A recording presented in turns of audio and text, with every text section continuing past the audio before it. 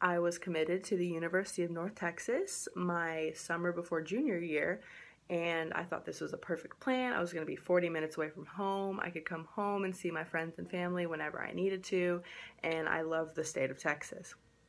I was extremely confident in this decision and this program I was about to join until the spring of my junior year when the head coach at North Texas called me and informed me that he had gotten the job